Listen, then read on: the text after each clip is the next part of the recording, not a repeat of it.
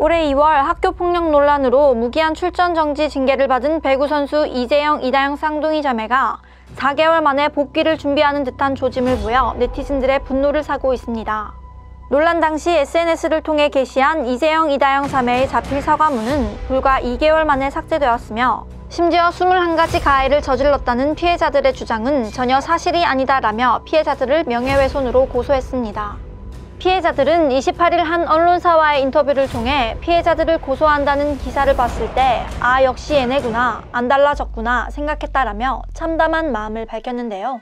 피해자들의 주장에 따르면 마음에 안 들면 입을 때리는 건 기본이고 그냥 지나가다가도 마음에 안 들면 어깨를 치는 등 폭력을 일삼았다고 합니다. 뿐만 아니라 피해자들의 부모님 욕도 서슴치 않았다고 하는데요. 심지어는 피해자들을 흉기로 위협하기까지 했다고 합니다.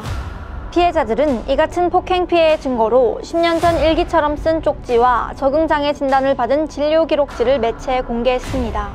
쌍둥이 자매에 대해 한국생명은 한국배구연맹 이사회 선수 등록 마감일인 이달 30일에 맞춰 다시 선수로 등록할 것이라고 전하며 입장 발표를 예고했었는데요.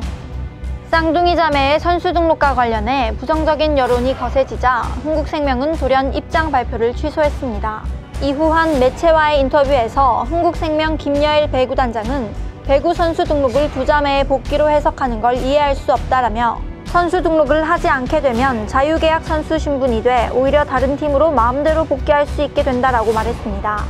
또 지난 25일에는 이다영이 모교를 방문해 후배들에게 재능 기부를 했다는 글이 한 온라인 커뮤니티에 게시되었는데요. 이에 선명여고 측은 최근 이다영이 학교에 방문한 것은 사실이라며 학생들의 훈련을 지켜보고 옆에서 도와준 것으로 안다고 말했습니다. 다만 온라인상에서 이다영의 학교 방문 소식이 퍼지며 논란이 일자 28일 오전 이다영에게 귀가 조처를 내렸다고 덧붙였습니다. 연이은 쌍둥이 자매의 복귀 행보에 일부 네티즌들은 29일 학폭 가해자 컴백, 흥국생명도 가해자 등 자매의 복귀를 반대하는 문구를 띄운 트럭 시위를 흥국생명보험 본사가 위치한 서울 광화문 일대와 한국배구연맹이 위치한 상암동 일대에서 벌이기도 했습니다. 결국 흥국생명은 쌍둥이 자매의 선수 등록을 하지 않겠다는 의사를 30일 밝혔습니다. 흥국생명이 선수 등록을 포기함에 따라 쌍둥이 자매는 앞으로 자유계약 신분이 되고 구단이 내렸던 무기한 출장 정지 징계도 더는 적용받지 않게 되는데요. 현재 복귀와 관련해 좋지 않은 여론이 형성된 상황이므로 쌍둥이 자매와의 계약에 나설 구단은 쉽사리 나타나지 않을 것으로 보입니다.